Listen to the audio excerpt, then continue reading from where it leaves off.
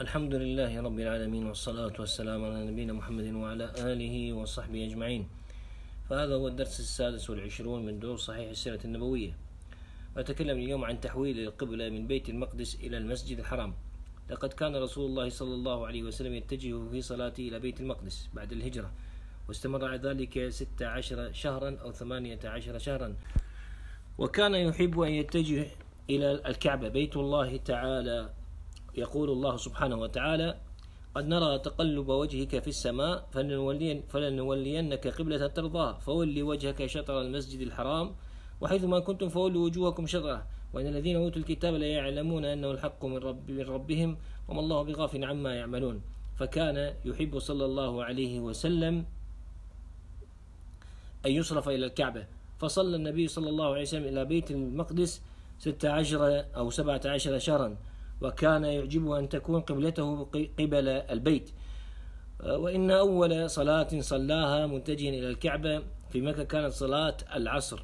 وصلى معه قومه فخرج رجل ممن كان صلى معه فمر على أهل المسجد وهم راكعون فقال أشهد بالله لقد صليت, صليت مع رسول الله صلى الله عليه وسلم قبل مكة فداروا كما هم قبل البيت وقد تساءل بعض بعض الصحابة عن الذين ماتوا قبل تحويل القبلة وكان وكانت صلاتهم إلى بيت المقدس فأنزل الله سبحانه وتعالى وما كان الله ليضيع إيمانه إيمانكم.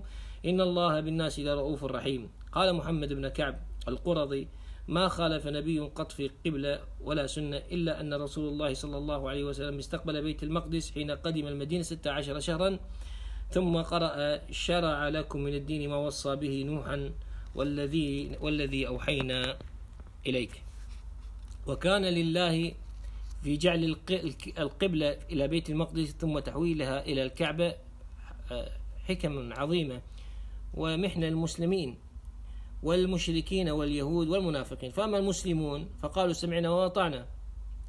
وقالوا آمنا به كل من عند ربنا وهم الذين هدى الله ولم تكن كبيرة عليهم. وأما المشركون فقالوا كما رجع إلى إلى قبلتنا يوشك أن يرجع إلى ديننا. وما رجع إليها إلا أنه الحق. وأما اليهود فقالوا خالف قبلة الأنبياء قبله ولو كان نبيا لكان يصلي إلى قبلة الأنبياء. وأما المنافقون فقالوا ما يدري محمد أين يتوجه؟ إن كانت الأولى حقا فقد تركها وإن كانت الثانية هي الحق فقد كان على على باطل. وكثرت أقاويل السفهاء من الناس وكانت كما قال الله سبحانه وتعالى كبيرة إلا على الذين هدى الله. وكانت محنة من الله امتحن بها عباده ليرى من يتبع الرسول منهم ممن ينقلب على عقبيه ثم أخبر الله سبحانه وتعالى أنه أن له المشرق والمغرب وإنما يولي عباده وجوههم فثم وجه الله وهو الواسع العليم. فلعظمته وسعته وإحاطته أينما يوجه العبد فثم وجه الله. ثم أخبر أنه لا لا يسأل رسوله عن أصحاب, الجحيم الذين لا يتبعونه ولا يصدقونه. ثم أعلمه أن أهل الكتاب من اليهود والنصارى لن يرضوا عنه حتى يتبع ملتهم وأنه إن فعل وقد أعاذه الله من ذلك فما له من الله من ولي ولا نصير.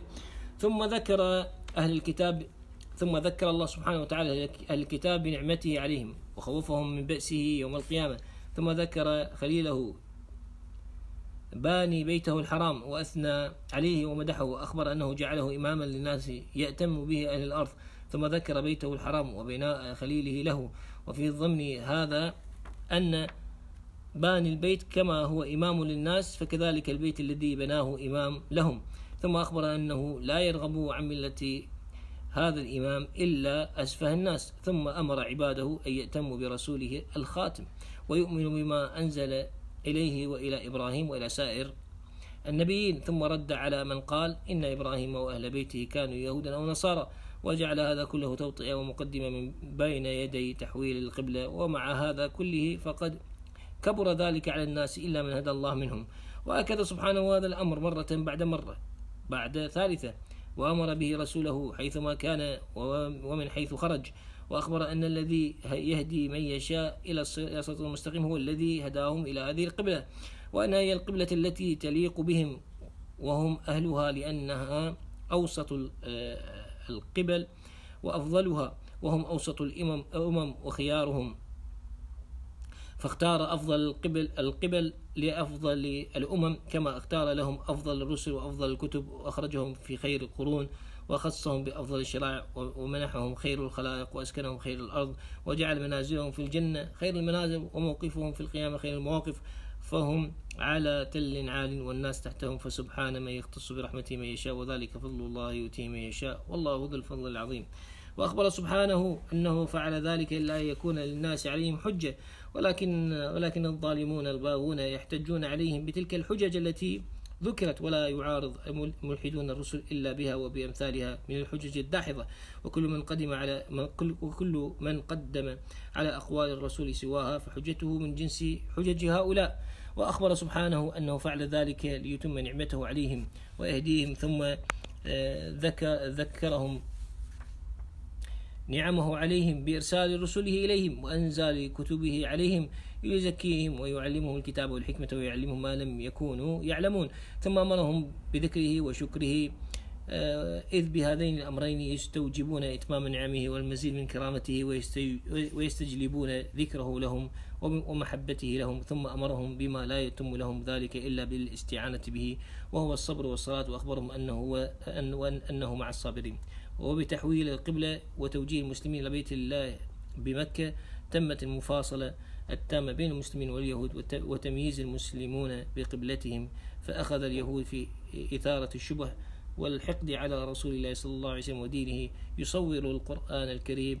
ذلك فيقول الله سبحانه وتعالى سيقول السفهاء سيقول السفهاء من الناس ما ولاهم عن قبلتهم التي كانوا عليها قل لله المشرق والمغرب يهدي من يشاء إلى صراط مستقيم. وبدأ المسلمون يتوجهون في صلواتهم إلى مكة المكرمة فتحركت شجونهم وأتم نعمته عليهم مع القبلة بأن شرع لهم الأذان في اليوم والليلة خمس مرات وزادهم في الظهر والعصر والعشاء ركعتين أخرين بعد إن كانت ثنائية فكل هذا كان بعد مقدمه المدينة. هذا والله أعلم وصلى الله وسلم على نبينا محمد.